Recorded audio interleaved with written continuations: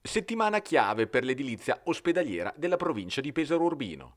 A stretto giro di posta dall'assegnazione dei lavori del nuovo ospedale di Pesaro si avvia anche il cantiere per il nuovo presidio ospedaliero di Cagli con l'assegnazione ufficiale dei lavori.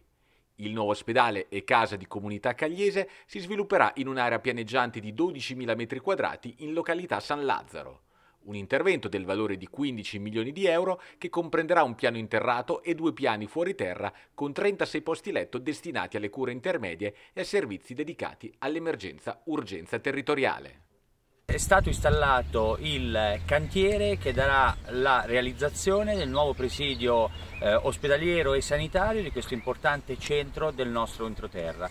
15 milioni eh, di euro per un eh, presidio che è centrale nella valle del Metauro e che è stato affidato ad una ditta tutta eh, marchigiana che ha vinto la gara, la ditta Torelli e Dottori di eh, Pramontana. Avanziamo così con l'edilizia sanitaria ospedaliera delle Marche per recuperare il tempo perso nella tutela del diritto alla salute eh, dei marchigiani. Una struttura importante sia per Cagli ma per tutto il nostro territorio e continueremo a collaborare affinché all'interno di questa struttura vengano portati tutti i servizi necessari alla nostra comunità.